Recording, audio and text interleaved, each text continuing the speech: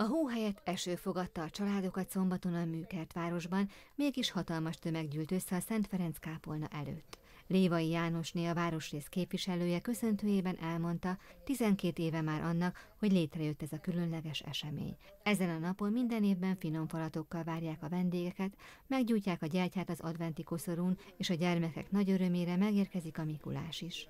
A képviselő mesélt az ünnepről, annak jelentőségéről, és kiemelte, az ajándék mellé tegyük oda a szívünket is. Baracsi Klára, a Műkertvárosért Együtt Egyesület elnöke, a Műkertvárosi Advent egyik megálmodója is köszöntötte a családokat, és hangsúlyozta, nem a drága ajándékok jelentik a fényt a lelkünkben, hanem a szándék, hogy önmagunktól mit adhatunk önzetlenül.